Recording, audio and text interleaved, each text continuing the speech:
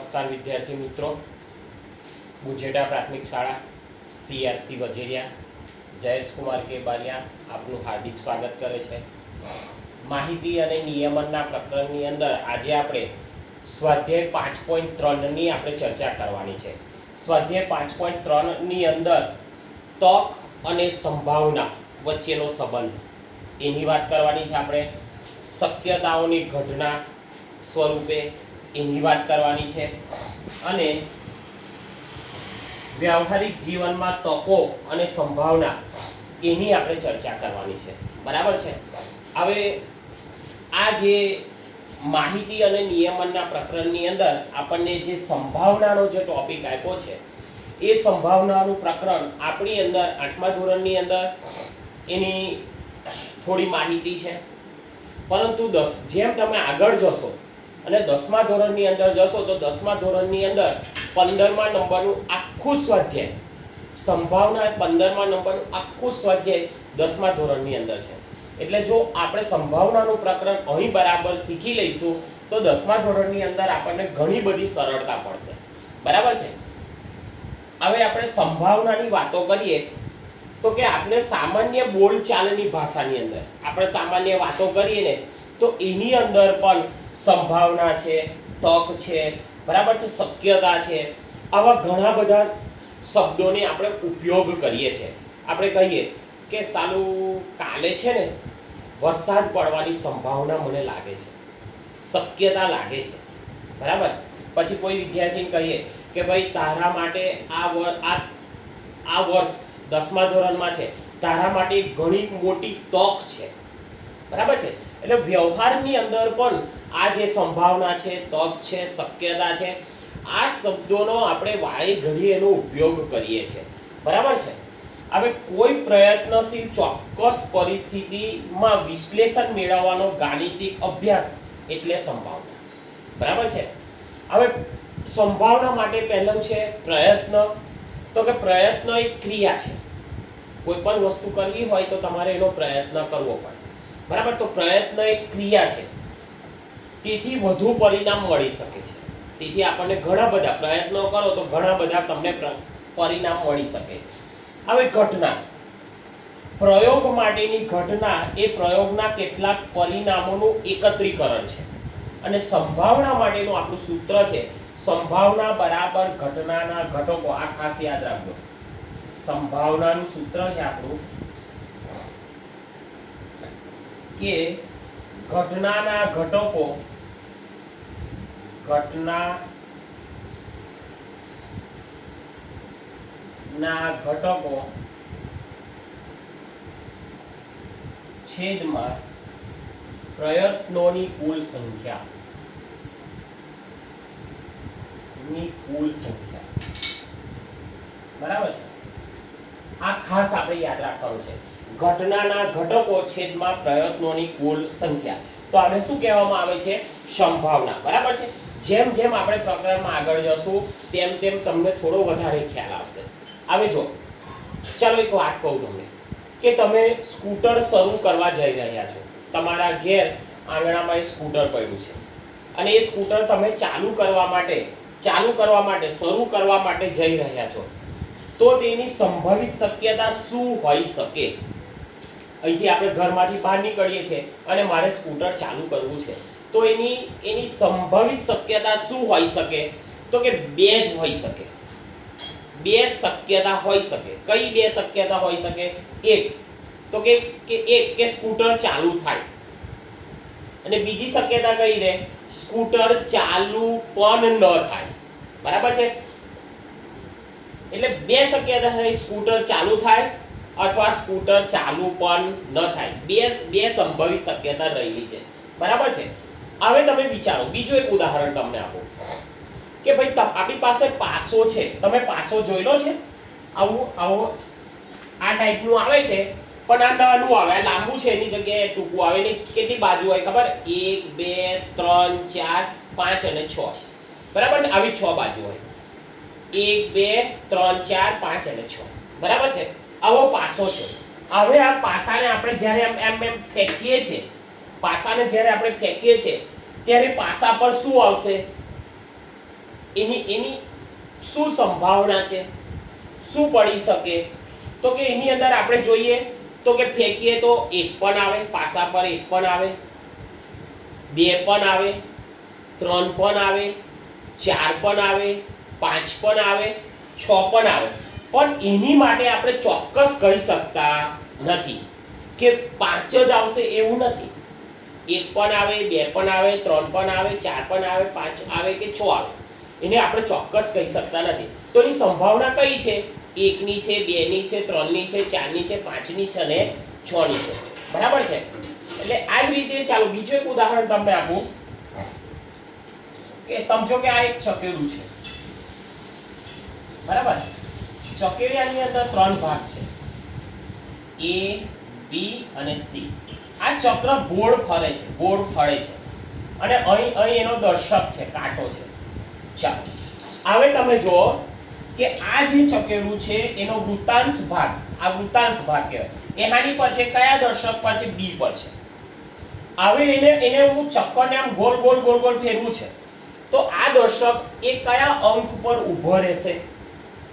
તો કે ના, એ આપણે ચોક્કસ કહી શકતા નથી. દર્શક કાંટો એ પર એ પર પણ પણ આવે, બી પર પણ આવે, અથવા સી પર પણ ઊભો રહે. આપણે એને ચોક્કસ કહી શકતા નથી. બરાબર છે?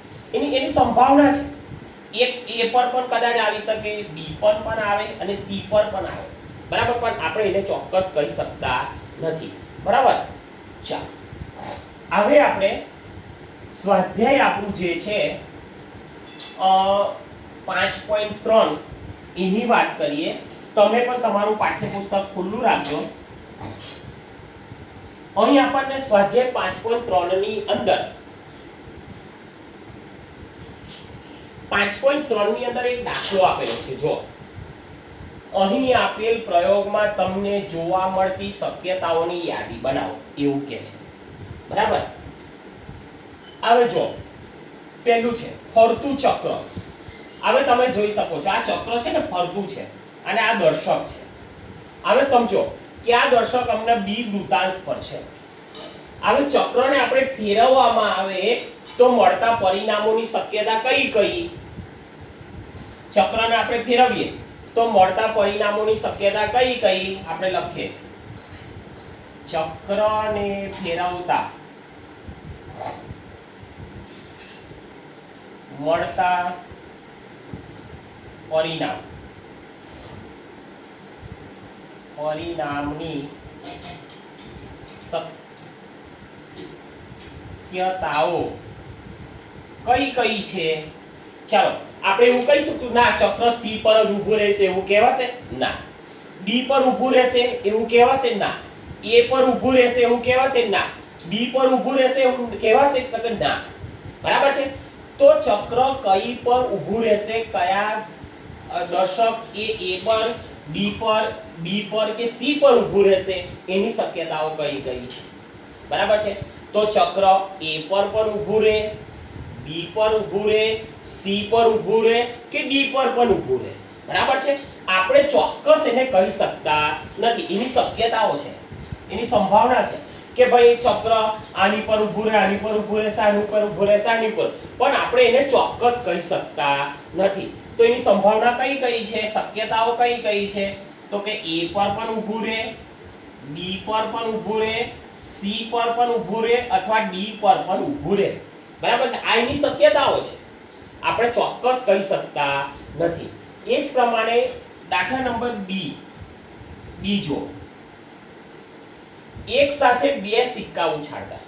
એક સાથે બે સિક્કા ઉછાળતા. આપણી પાસે રૂપિયાના બે સિક્કા છે. સમજો. એક જ ટકા તમે લઈ લો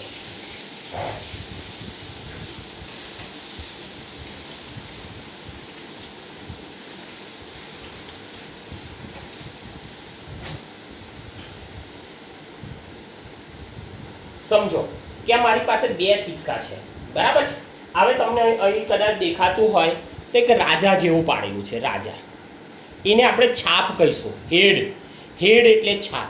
અને પાછળનો જે ભાગ છે, એને આપણે ટેલ એટલે કે કાંટો કહીશું. આને હેડ, આને ટેલ આને એચ અને આને ટી. બરાબર છે? આ રાજા જેવો ભાગ દેખાય છે, એને આપણે હેડ એટલે એચ કહીશું, એટલે કે છાપ. અને પાછળનો જે ભાગ છે, એને આપણે શું કહીશું ટેલ એટલે કે કાંટો. બરાબર છે? એ પ્રમાણે. હવે સમજો કે બે સિક્કા છે મારી પાસે. હવે બે સિક્કાને હું ઉછાળું છું. બે સિક્કાને મેં ઉછાળતા મળતા પરિણામની શક્યતા આપણે લખીએ. બે સિક્કાને ઉછાળતા મળતા પરિણામની શક્યતા.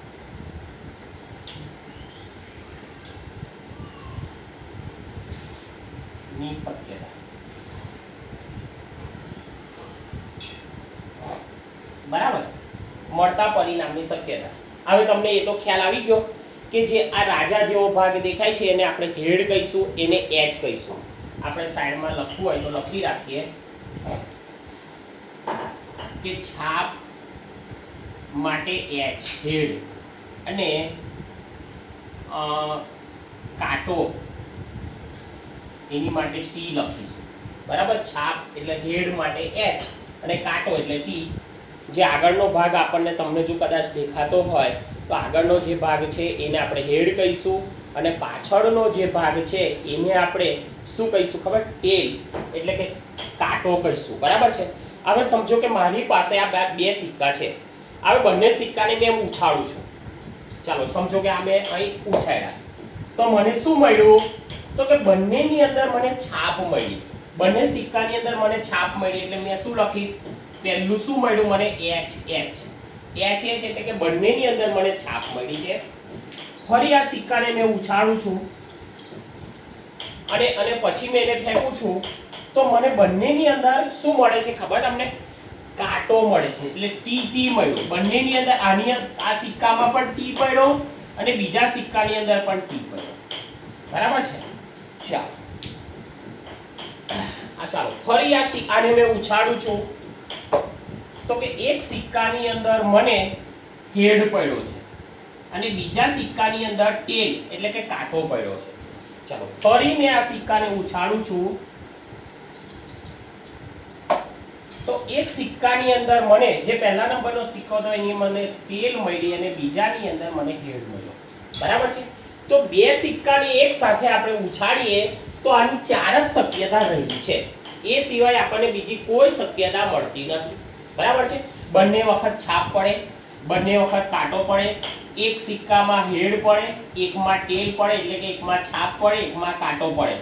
ફરી વખત ઉછાળીએ તો એકની અંદર કાંટો પડે અને એકની અંદર છાપ પડે. બંનેની અંદર છાપ પડે અથવા બંનેની અંદર કાંટો પડે. આટલી શક્યતા રહેલી છે. ચાર શક્યતાઓ રહેલી છે. બે સિક્કાને ઉછાળો, તો ચાર શક્યતા રહેલી છે. બરાબર છે? ચાલો.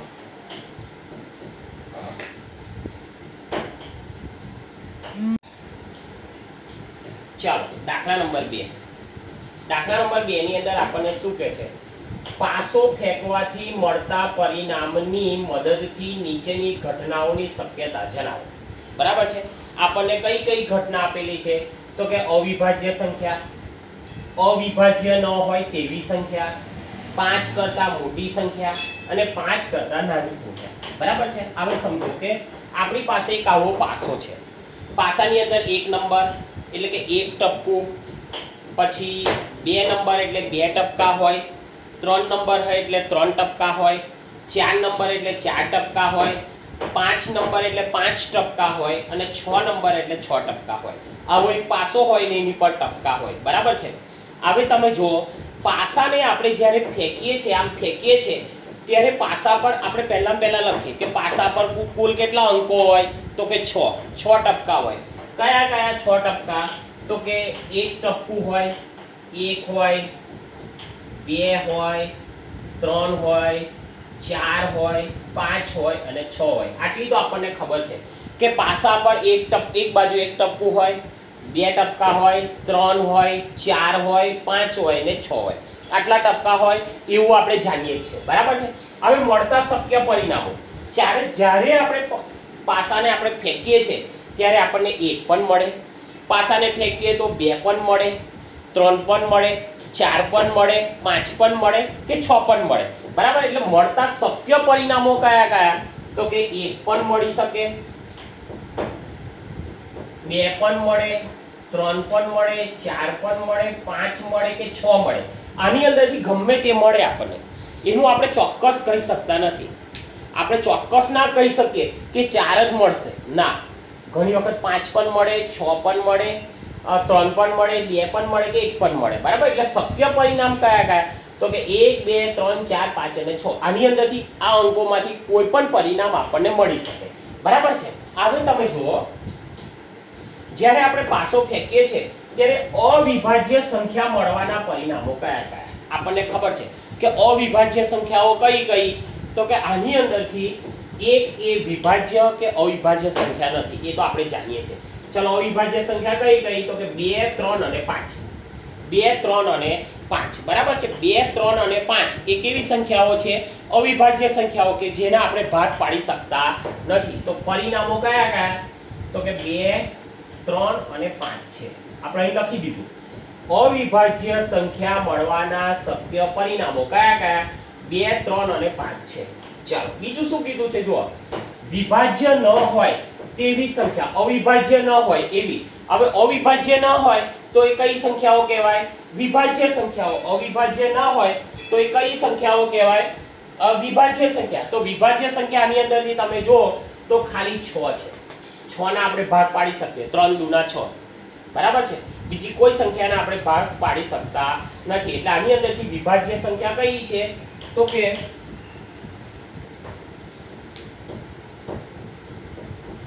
હા, અવિભાજ્ય ના હોય તેવી સંખ્યા આપણને પૂછ્યું છે. સોરી અવિભાજ્ય ન હોય તેવી સંખ્યાઓ કીધું છે.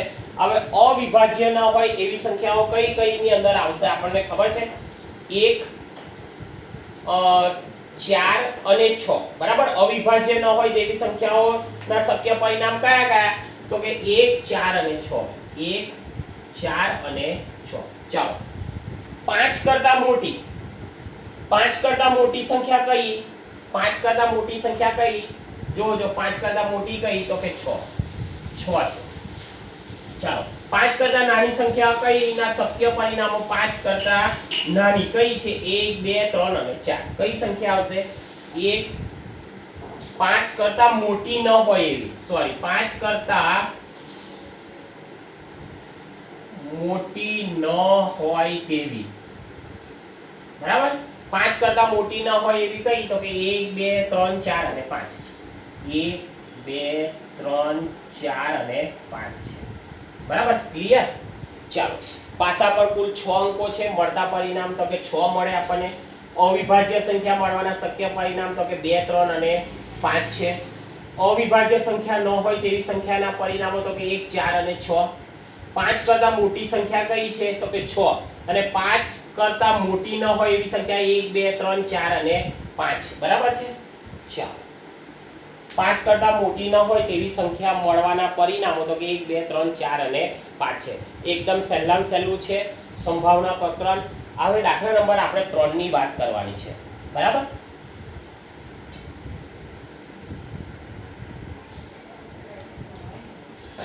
ચાલો. દાખલા નંબર ત્રણ.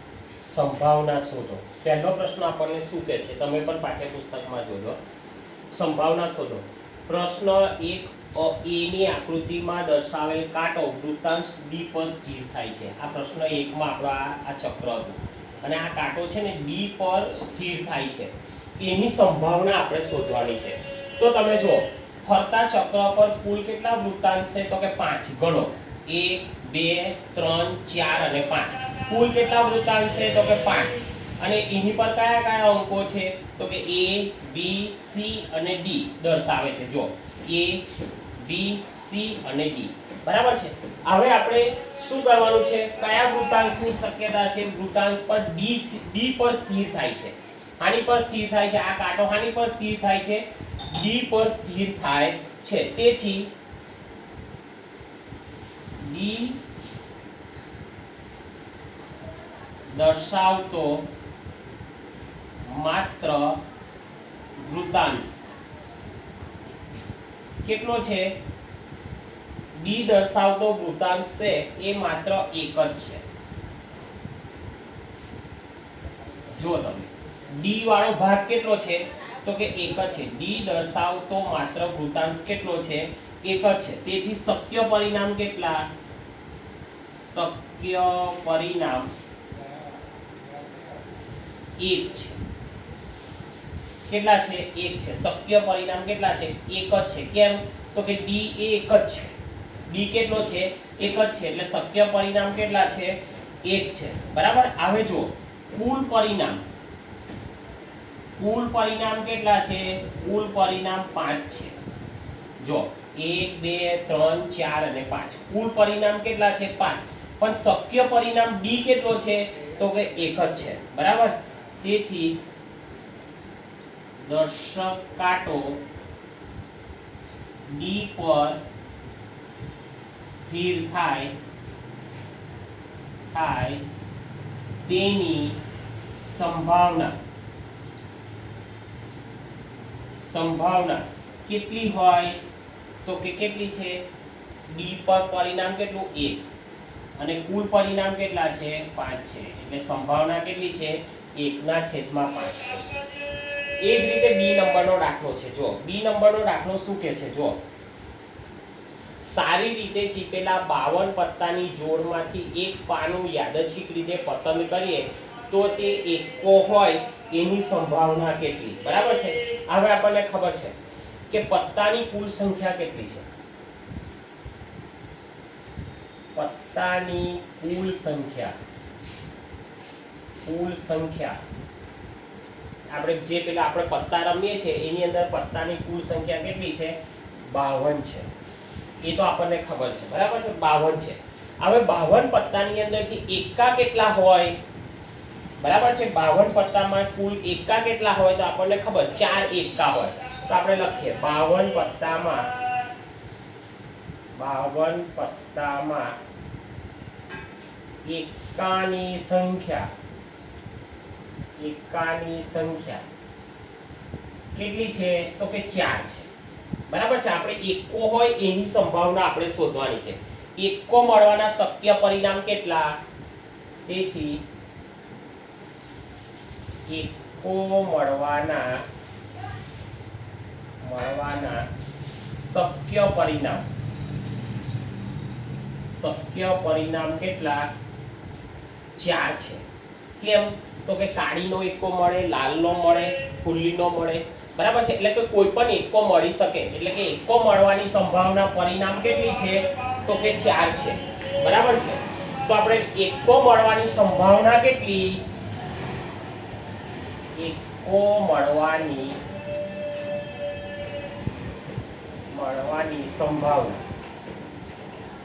બરાબર. ચાલો. એકો મળવાની સંભાવના કેટલી છે? પરિણામ કેટલા છે? ચાર. અને કુલ પરિણામ કેટલા છે? પત્તાની કુલ સંખ્યા કેટલી છે? તો કે બાવન. બરાબર છે? આનો ભાગ ઉડાડીએ આપણે. તો કે તેર ચોખ્ખું બાવન. એટલે એકના છેદમાં તેર. પણ તમે લખી શકો છો. બરાબર? એકના છેદમાં તેર પણ લખી શકો છો. બરાબર? એટલે આ આપણું થયું. બાવન પત્તામાંથી એકો મળવાની સંભાવના કેટલી? તો કે એકના છેદમાં તેર. બરાબર? હવે દાખલા નંબર સી તમે પણ પાઠ્યપુસ્તક ખુલ્લું રાખો. એની અંદર આપણને શું કીધું છે તે આપણે જોઈએ. તો કે લાલ સફરજન મળવાની શક્યતા કેટલી? આપણને એક આવું આવું એક રાઉન્ડ આપ્યું છે. ઘડો નથી, પણ એક આવું રાઉન્ડ છે. અને એ રાઉન્ડની અંદરથી G R R R G R અને જી બરાબર છે? હવે આર એટલે રેડ રેડ કેટલા છે? તો કે એક, બે, ત્રણ અને ચાર. લાલ કલરના સફરજન કેટલા છે? તો કે ચાર છે. કેટલા છે? ચાર છે. અહીં આપણને આપેલા છે. જો આ એક, આ બીજું સફરજન, આ ત્રીજું સફરજન અને આ ચોથું સફરજન. બરાબર છે? એટલે આપણે હવે જોઈએ. સફરજનની કુલ સંખ્યા કેટલી છે? ગણી નાખો. એક, બે, ત્રણ, ચાર, પાંચ, છ અને સાત. એટલે આપણે અહીં લખીએ. સફરજનની કુલ સંખ્યા કેટલી છે? સાત છે. સફરજનની કુલ સંખ્યા કેટલી છે? સાત. એટલે શક્ય પરિણામોની સંખ્યા. શક્ય પરિણામની સંખ્યા. ની સંખ્યા સાત છે. શક્ય પરિણામ કેટલા છે? સાત છે. આની અંદરથી, આ સફરજનની અંદરથી લાલ રંગના સફરજન કેટલા છે? તો કે લાલ રંગના સફરજન લાલ રંગના સફરજનની સંખ્યા કેટલી છે? એક, બે, ત્રણ અને ચાર. લાલ રંગના સફરજનની સંખ્યા કેટલી છે? ચાર છે. શક્ય પરિણામ કેટલા છે આપણા? સાત છે. એટલે લાલ રંગના સફરજન મળવાની શક્ય પરિણામ. લાલ રંગનું સફરજન મળવાની, મળવાનું શક્ય પરિણામ. શક્ય પરિણામ. કેટલું છે? ચાર છે. કારણ કે અંદર લાલ રંગના ચાર સફરજન છે, એટલે શક્ય પરિણામ કેટલું છે? ચાર છે. તેથી લાલ સફરજન મળવાની સંભાવના બરાબર. ચાલો, લાલ રંગના સફરજનનું શક્ય પરિણામ કેટલું છે? ચાર. છેદમાં કુલ પરિણામની સંખ્યા કેટલી છે? તો કે સાત. તો આપણી શું થઈ? સંભાવના કેટલી થઈ? લાલ સફરજન મળવાની સંભાવના કેટલી થઈ? તો કે ચારના છેદમાં સાત. ચારના છેદમાં સાત. છેદ સહેલામ સહેલું આપણા દાખલા ત્રણ અહીં પૂરા થાય છે. એ સિવાયના જે બીજા દાખલા છે, એ આપણે નેક્સ્ટ પીરિયડની અંદર આપણે જોઈશું.